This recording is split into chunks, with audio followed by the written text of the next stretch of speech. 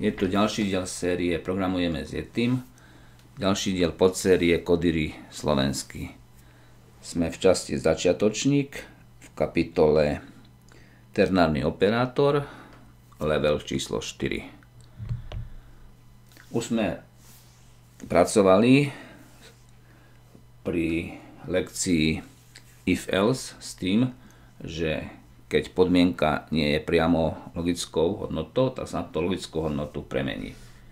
Pracovali sme vtedy s objektom, tak niečo podobné si urobíme aj teraz. Vytvoríme si objekt postava. Tento objekt postava bude mať vlastnosť meno. Hodnotou tej vlastnosti meno bude Peter. Môžeme tam dať aj priezvisko. Hodnotou tejto vlastnosti bude reťazec grant. A objekt môže, nemusí mať ešte aj ďalšiu vlastnosť, bydlisko. Alebo môžeme dať pracovisko. Miesto práce dáme pracovisko. Bude rozmarín. No a vytvoríme funkciu, ktorá bude zisťovať, či o tej postave vieme, kde pracuje. Takže funkcia,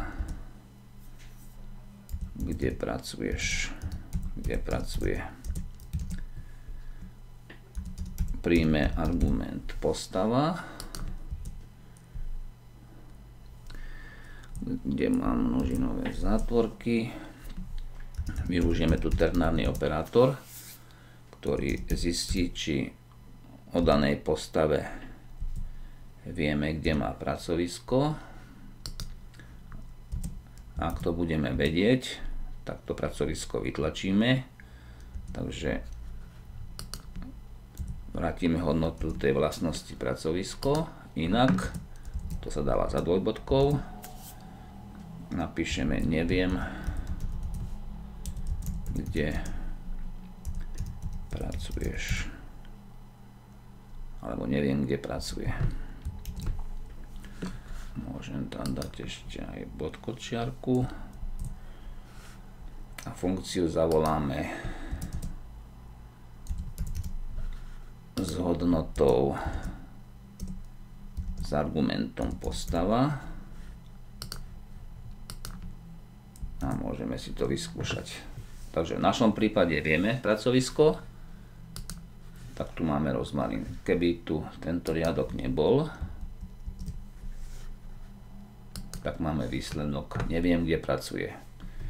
Funguje to, funguje to na základe toho, že v tej podmienke sa neprázdny reťazec, v našom prípade rozmarín,